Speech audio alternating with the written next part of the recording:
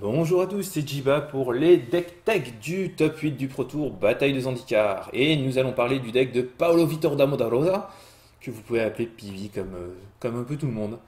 Pivi fait donc top 8 avec Atar Karen. Alors qu'est-ce que c'est qu'Atar Karen C'est un jeu très rapide. Très rapide sur plein de points. Déjà, il va jouer plein de créatures pas chères. Il a 12 drops à 1.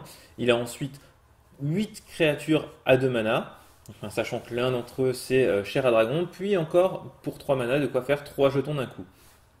Tout le reste à côté, c'est de quoi booster ces créatures et euh, un petit peu pour tuer les créatures adverses, histoire de passer les points le plus vite possible et au plus.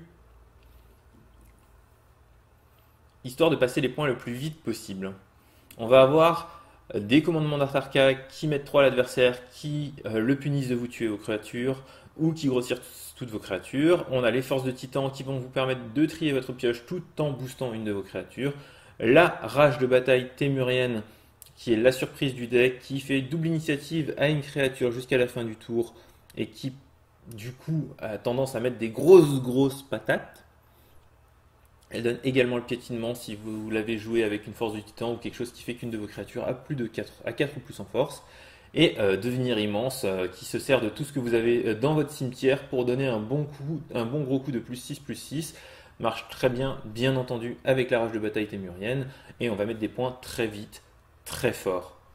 Et voilà, c'était Jiba pour Magic Live FR. N'hésitez pas à vous abonner à la chaîne YouTube. Et pour aller plus loin, toutes les parties du top 8 vont être bientôt commentées sur la chaîne Rabdel et Jobar. Je vous invite à y aller, à visiter la chaîne et à vous abonner également.